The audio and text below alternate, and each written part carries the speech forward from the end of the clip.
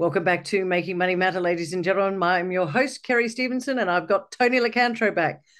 Last time I spoke to Tony, who was from Alto Capital, was just before Christmas. And here we are coming into February. Crazy hmm. times. Mm. Glad to see the chimp is back, sitting up in his foliage. Probably one of the only things growing at the moment is, is you seem to be.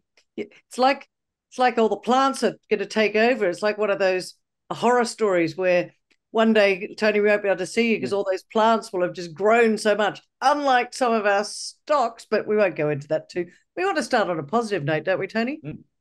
Oh, I'm, I'm absolutely uh, pumped for this year, Kerry. Good. I've it's when when you have been advising coming up to 26 years now. Can you believe it? Yeah, when I left the state when I left the safety of my New South Wales police job to become a stockbroker and, uh, you know, to have two shit years in a row, it, anyway, it's not going to be a hat trick.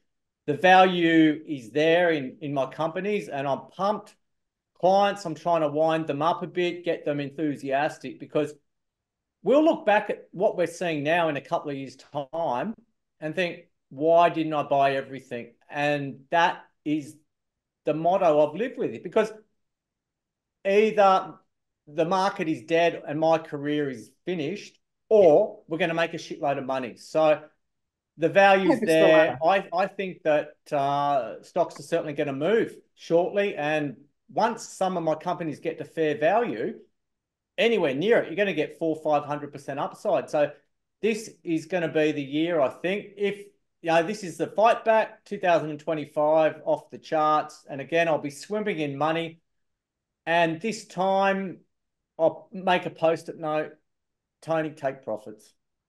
Oh, look, Tony, I remember uh, we won't name the company, but I remember a couple of years ago when a, a particular stock uh, took a big ride and you said to me, Kerry, take some profits.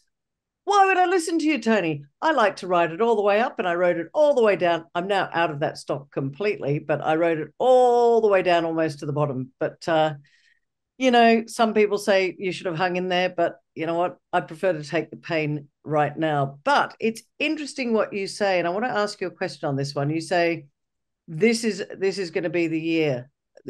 Why? Why 2024? What's changed? To me, nothing much has changed. It's we're still swimming in murky waters and trying to push treacle uphill? Well, there's always going to be a reason to sell. I remember back, you'd sell on a car bomb in Baghdad, or you'd sell because Italy or Greece was in financial strife. Look, I, I think it's going to be a focus on quality because a lot of the effluent is flowing now. A lot of stocks, companies that have backdoored in projects that are never going to happen the market just doesn't get excited about lithium acquisitions at the moment. That's where all the hot money went. It's okay. going to have to find a new home.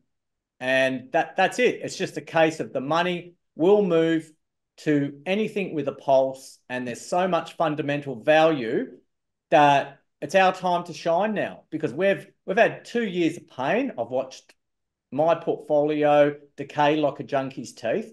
Now it's going to be the reverse, Kerry, and we're going to start to see return to fundamentals. One of my stocks, Barry Fitzgerald, puts out a positive article, and the stock goes up 50%, 60% at one point. So they'll start paying attention to undervalue, not backdoor deals where a company finds a lithium project on the moon and goes 500%. So every cycle since dot com's the same thing. Okay. And I think you know, the bullshit's got to slow up. Let's get back to music, always gets back to guitars, bass, and drums. Let's get back to simple speculation where if you buy low, company delivers, you sell high. So big things are mining stocks, gold stocks, so cheap. There's value everywhere. Biotech uh, is an absolute train wreck. And there's so much value because a lot of these biotech companies are just getting on with what they said they would. Yet once you're in a downtrend, um, it's hard to breach it. So yeah, I'm I'm absolutely enthusiastic, excited. Probably got far too much mental energy for people at the moment, based on um, I've become addicted to being healthy, instead of addicted to quarter pounder meals with a filet of fish and 20 nuggets on the side, Kerry. Oh, makes me feel sick even hearing you say that. Um, mm. You know, Tony, and, and, congratulations, well done. We're we're, we're both in that sort of healthy phase at the moment. I'm not quite as crazy as you with with the no alcohol whatsoever. Um, but a couple mm. of things I wanted to mm. ask you. I, I, recently, just this week, interviewed Rick Rule, um, actually on Australia Day, and one of the things he said was, "Kerry, exploration is out of favor. I'm going back into the exploration game." Would you agree with that statement? Oh, absolutely. And exploration is something I've actually noted that our largest, most most significant discoveries, it doesn't matter what the market's doing. Prominent Hill, shitty market. Sirius, um, when they Nova Bollinger, the market was hideous. Yeah. Sandfire drilled into their copper. Doesn't matter. You make a discovery. It doesn't matter if it's gold, uranium, copper, plastic dog poo. You are going to go. You're going to get re-rated by the market. A lot of these stocks actually overshoot to the upside. So a lot of the majors need to replenish resources and they'll partner up with juniors, they'll fund juniors, and they'll hmm. just take them over because it's easier to buy ounces than for a major to go through the process to find it. So, exploration to me is an area that you should stay fully invested in that portion of your portfolio because you got to back the companies that have the balls to go out and drill deep holes. A lot of them are getting government money thrown at them. So, yeah, I think Rick, from my experience, is the smartest guy in the room.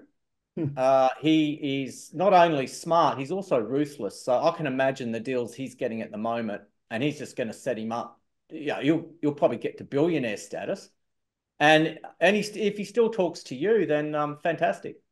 Yeah, no, Rick's very, very kind with his time. He's, he's as he said, he's busier uh, now than he ever has been, and he's meant to be retired. So um, that's mm. quite fun. And for the, those out there, um, I will be heading over to his conference in Boca Raton, Florida, which is the 7th to the 11th of July. Tony, you should come over.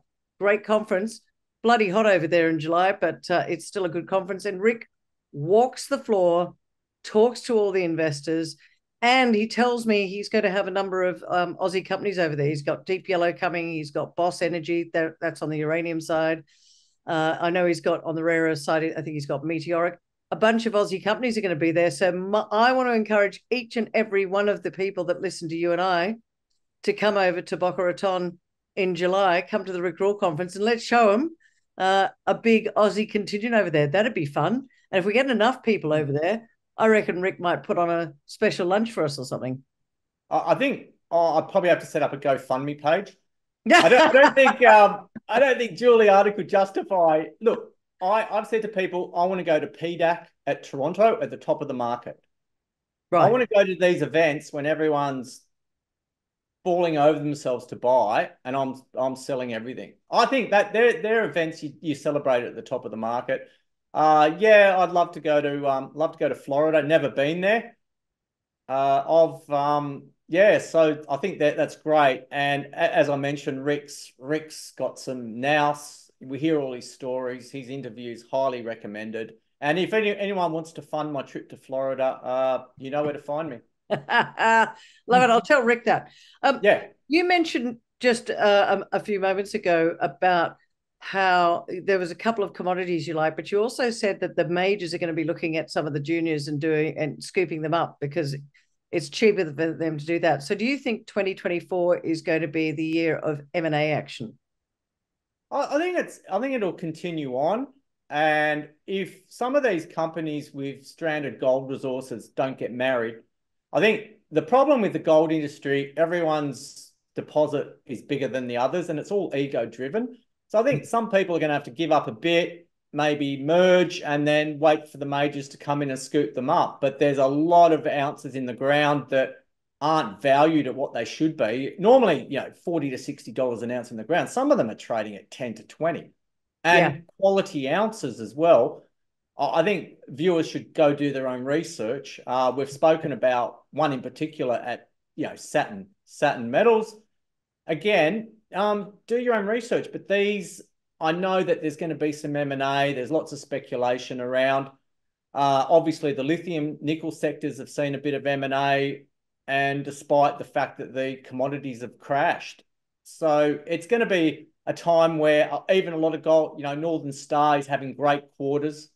They've got lots of cash. What are they going to do with it? Um, dividends, spin out some assets. Who knows? So send looking... Tony, send Tony to Boca Raton.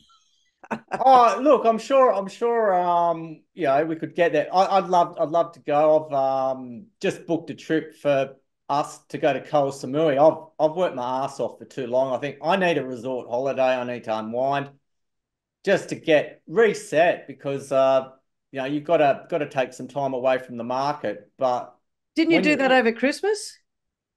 Um. Oh, the funny thing about being a an advisor is that ideas are always ticking in my head, and I, I actually printed out the page from the financial review and hit it with a highlighter, and I found a couple of gems. Um, and I'm just mm. easing my way into them. I'm going to start talking to clients about it, but some of them are so liquid. Eh, you got a one client at a time, and and they trade via appointment. But that ex- exercise is worth it because I find some gems.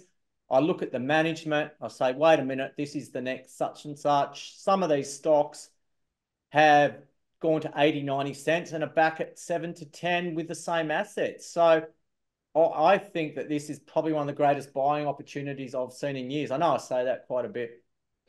Yeah. Uh, what's driven, what has driven companies that, as you said, were 80, 90 cents and now back to seven cents?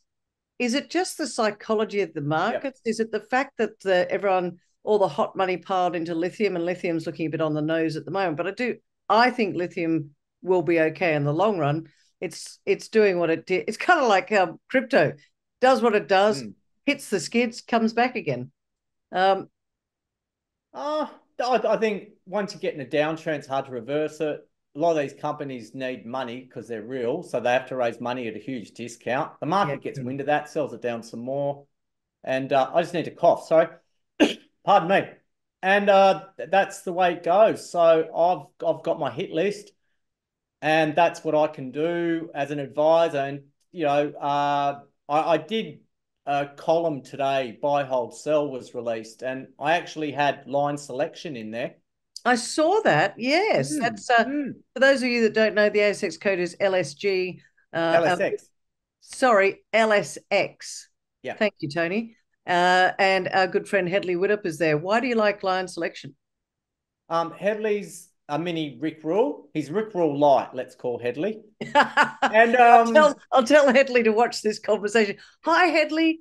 uh, and uh, you know, stocks trading at 42, 43, NTA 62, 63. He's got big positions at cheap prices. I'm sure he's got some seed capital there. And I just think it's a good place to cornerstone as a junior resource investor because uh, he does pay the occasional dividend and the share price should move up as his NTA moves up. And I think last time he had about $70 million to spend. Nice. It'd be like letting someone loose in a Louis Vuitton store and saying just take whatever, buy whatever you want. I, I just think he is in the perfect position, Kerry. And sometimes in speculation, it's good to go boring to have something that cornerstones your portfolio. Is going to be money in the bank if you need it, and he's run by some uh, Rick Rule Light. I mean, I, I think it's an outstanding longer term buy. What, uh, in terms of a portfolio structure, we've not mm. talked about this before, Tony, because uh, Rick often says that he's a, an in, a, an investor and a speculator, and on that sort mm. of smaller end of the market, you're definitely more on the speculator side of things. Mm. If you were to structure a portfolio, and let me know if you if you don't want to talk about this, but I was just wondering whether you would, you know, is there a percentage that you would put into that sort of much more specky market? Would it be ten percent? I mean do you have some advice for people out there that are not your clients as to yeah. potentially what they should be doing? Because going 100% into speculation is probably not the brightest idea. Well, I I've got a niche. I don't stray outside of that. Mm-hmm. I stick. If someone's worth a million bucks, they might come to me and say, "Look, I'm willing to lose 50 grand." Over the last 2 years, I did a pretty good job of that. Now, uh, it's time to reverse that. So I suggest five to ten percent. Uh, anyone that wants to take some risk, but my risk is educated risk, and I've had two bad years in a row. So when a portfolio, I have had a couple of people come to me with 200 grand and I am buying, I'm putting 20 grand into Lion, Lion, and I'm also buying some BBUS uh. as index protection because I think the US market's going to run out of steam soon. And once they eventually cut interest rates in the States, the market will fall because it always does. So just explain to our listeners out there, some of them might not know the BBUS and uh, and why that's the, the hedge that you like. Uh, it bets against the S and P 500. Mm-hmm. Uh, so for every one percent the S and P 500 falls, BBUS should go up uh, just over two percent. So if the market continues to rise, it goes the other way. Uh, but sometimes they'll come out and surprise with a, a dividend because they do trade futures. And a couple of years ago, we got a dollar twelve dividend. It was fantastic. So they're trading at about six dollars sixty.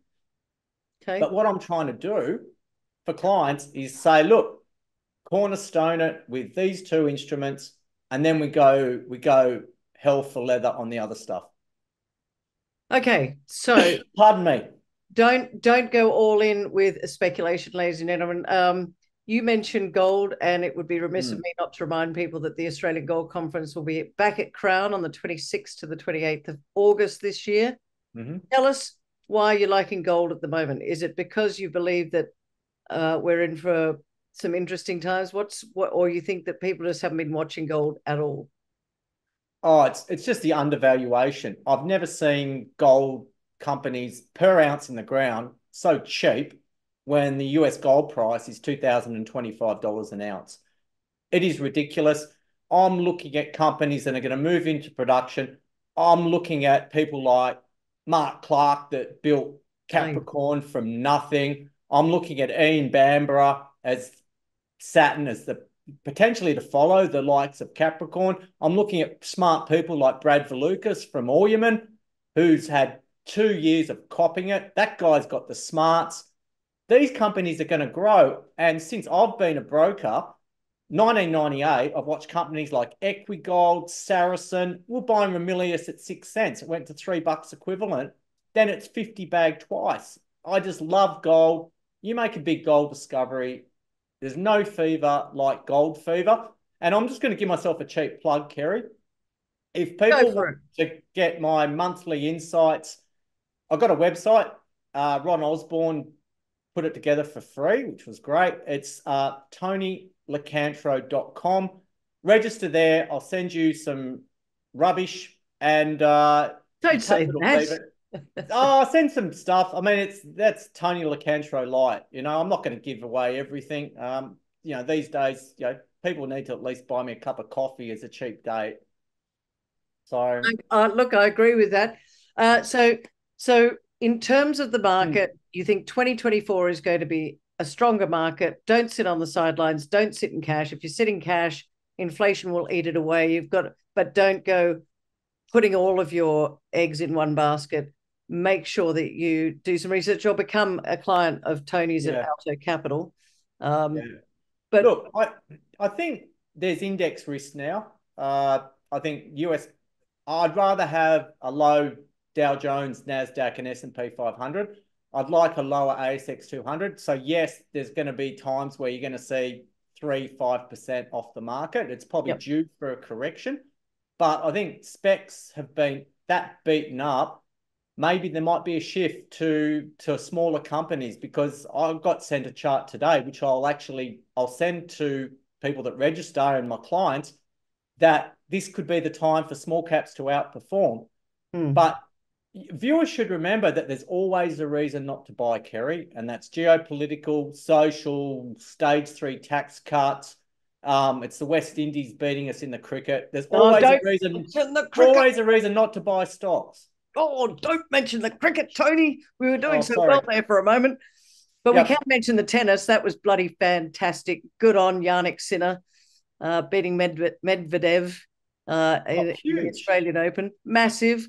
young man, 22 years old. And you know what that tells me? That tells me never give up, ladies and gentlemen. It doesn't matter. He was two sets down and then he turned the whole thing around and won the next three sets. What a weapon he was. Well, he can be my red-headed stepchild anytime. Yeah, for an Italian, he doesn't look Italian. All right. Oh, well, I'm a token Italian for viewers wondering.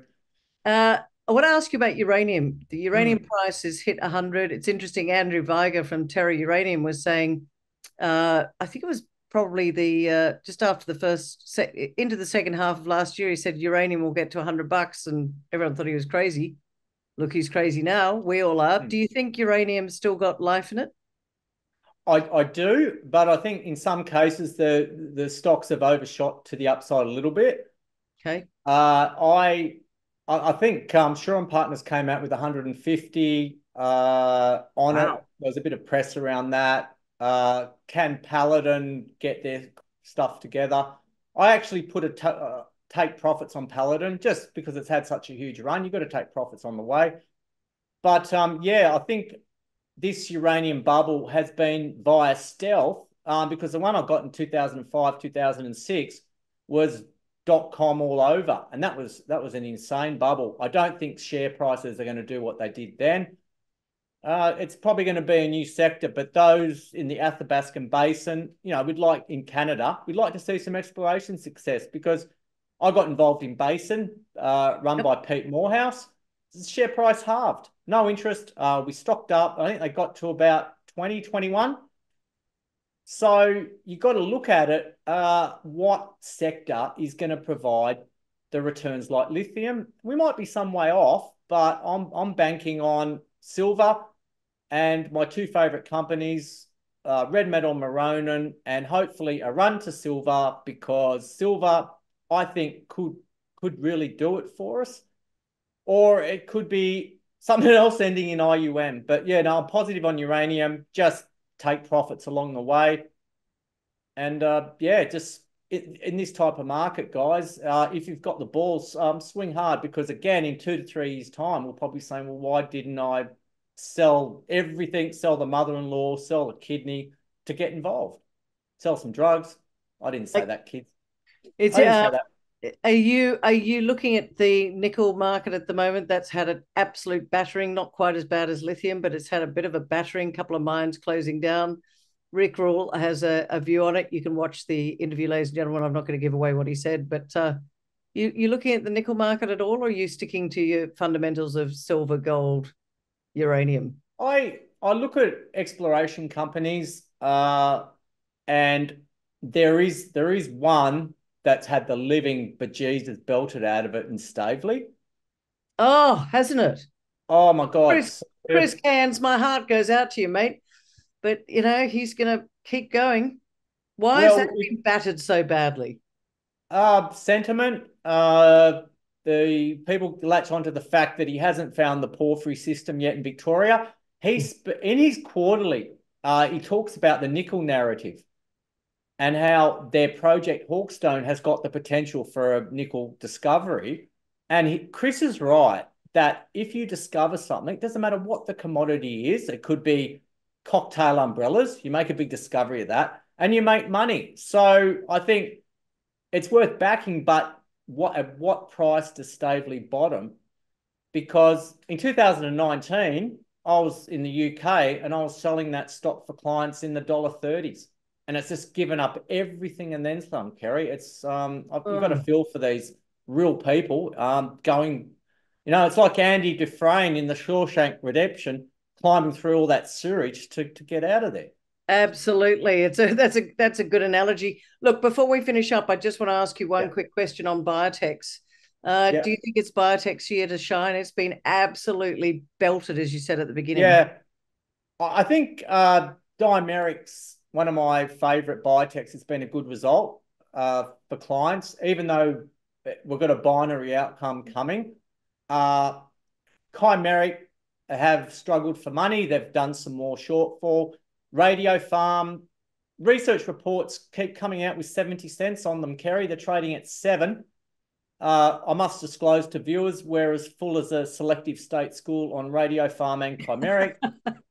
and I think I think Paul Hopper needs a good. I think he is due for a good year eventually because that's these companies. Let's face it, haven't done too much wrong, but when sent when the when sentiment gets sucked out, uh, you certainly struggle, and then speculators are ruthless.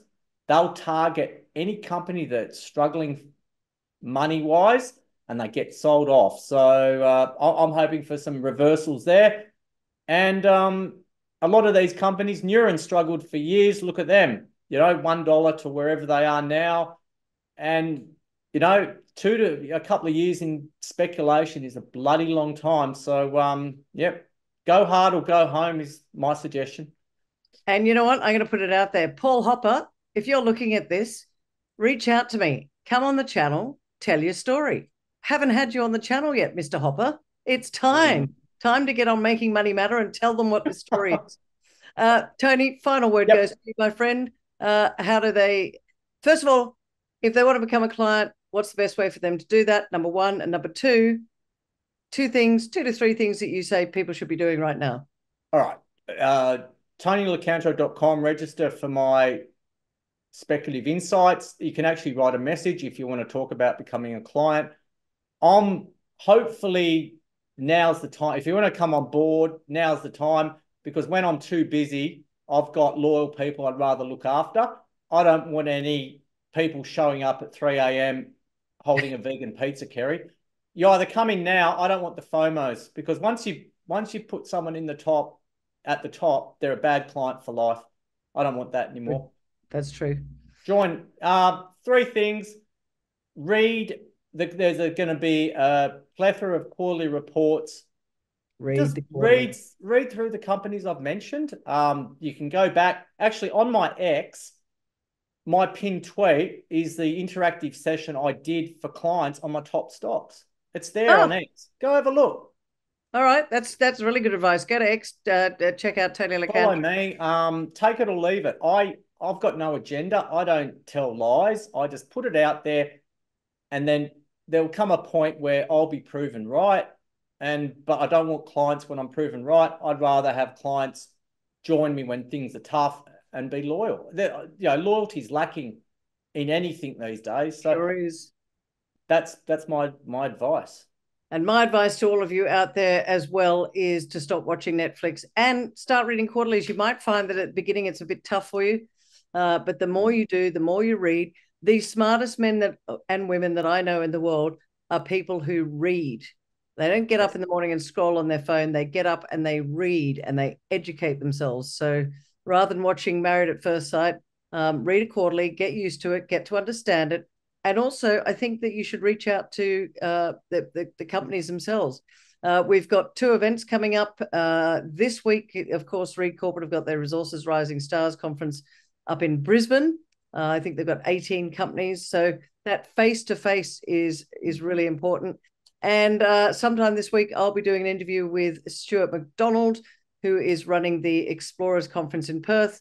I'm going to be at both. I'll be in Brisbane this Thursday for the uh, Resources Rising Stars Conference.